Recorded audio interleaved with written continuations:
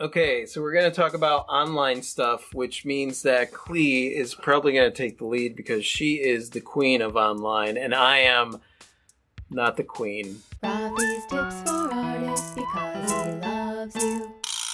Hola, you amazing artists. So we got a question today that got me thinking about my online marketing and online stuff. So the question is from Kid Rockin' Forever. What's up, kid rockin' forever? Hey, hey. Hey, hey. Question is, I'm trying to sell and show on Facebook and Instagram, but no one is buying. Is it just like you said? Do people really not buy art online? So people do buy art online. Uh, online is a great market. It's a great opportunity to be able to sell art. It's one of the reasons that us artists could be self-employed now versus uh, needing a gallery or needing festivals and things like that to be set up for us to do our thing. Back in the day, if we wanted to be self-employed and set ourselves up, we would have to open up a brick and mortar location or at least get a reputation out there by doing a lot of those community shows and stuff. Whereas now we can actually sell our stuff online and broaden our market. Before it was just locally, now it's worldwide. I have collectors that are from all around the world. Yeah, we ship stuff internationally all the time thanks to our store that's built of ones and zeros. But here's the thing.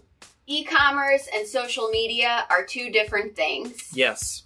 Yes, they are. One of the misconceptions that I had was that as soon as I get my online store up, that I'm going to be making a whole bunch of that. People are just going to be like rushing to my online store, you know, pushing other people to the side. Fact is that what I really experienced was crickets. I'm still picturing people physically rushing to your online store as though it existed somewhere. Yeah, yeah, they were they were rushing to their own computers. You know what I mean? Pushing each other out of the way. Yeah, that's that's a, the struggle is real. As it turns out, no, nobody was like going. Nobody knew I existed because that's the problem. When you have your stuff online, nobody really knows that you exist because it's not like you pop up on the front page of everybody's computer. It just doesn't happen that way. And honestly, I'm not here to talk to you about algorithms and all that stuff. A lot of people try to follow a certain rhythm, uh, a certain rhythm, certain rhythm with This algorithm. algorithm. I don't concern myself with the algorithms or the SEOs or things like that. Obviously, I do want to make sure that my tags and my title and my descriptions all are cohesive so that things are searchable. But as far as worrying about like Google algorithms or Etsy algorithms or how the computer decides to, they change that so often that it just doesn't even matter. Recently, a bunch of stores on Etsy that had their shops optimized for the algorithm that was on Etsy uh, took a dive, a nosedive, because Etsy changed their algorithm. So like, and that's happened a bunch of times on Google and it's happened a bunch of times on every search engine because they just changed the algorithm. I don't worry about that. I get a lot of questions about that because people think that I'm like some kind of marketing guru, and I'm not. I'm not a marketing guru. I just like creating stuff and putting it out there in front of as many people as possible and connecting with a lot of people. It's more about the personal connection for me than it is the whole marketing my art thing. When it comes to social media, uh, it's all about putting my story out there. So I don't really rate the success by how many items I sell on social media. It, it's it's rated mostly on what is the response rate that I get. You got to think about it this way. It's the same thing as setting up at a market. You may have 2,000 people visit your booth or walk by your booth at a market and that entire day you may have two people buy something. So it's the same thing on social media. The more people that see your stuff, the more chances you have of somebody purchasing something. But in order to get to a place where you are showing it to a lot of people, you have to consistently do it in a market where maybe you don't have that much of a return. Find another reason that is personal to you for putting your stuff out there on social media, on Facebook, like you said, or on Instagram that doesn't have anything to do with a return on sales because that way you're getting the satisfaction of putting it out there. I know that this isn't the case for everybody. I know people do sell things on Instagram and Facebook. In my personal experience, I had to find another reason to show my stuff because it is incredibly rare that I sell anything through social media. Yeah.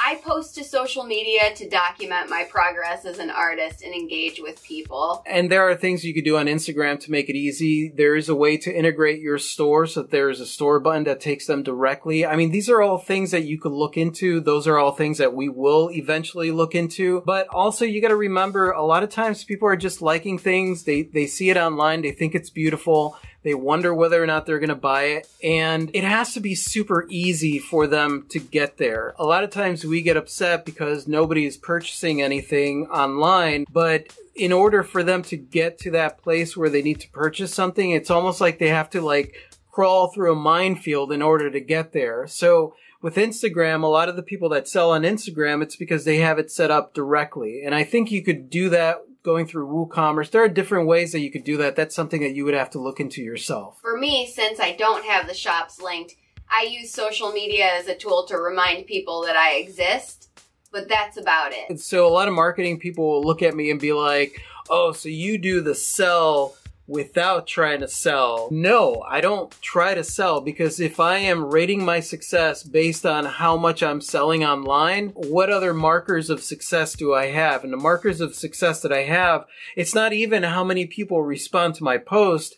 It is whether or not I posted something that I find amazing that day. Something where I can look back through my storyline and see authenticity and see awesomeness. Like, holy crap, I have a pretty amazing life. Don't get discouraged because people are not buying online. It's like any other market, except it is a very vast and larger market. I'm not saying that I've never sold anything through Facebook or Instagram. There are plenty of pieces that people have seen and they've bought. There are a lot of pieces that people have seen a year ago on Instagram or Facebook that have bought this year because they needed to save up for it. But I don't rely on my social media for marketing. As as you guys could probably tell from watching this video. I mean, where's the art, Rafi? Are you really an artist? Rafi, do you ever make any paintings? A lot of you out there are like, Rafi, we'd like to see more art in your videos since you're an artist. And like, all you get is my bearded talking head. And the end of my two cents with this is I do the same thing on my e-commerce platform as I do with social media, which is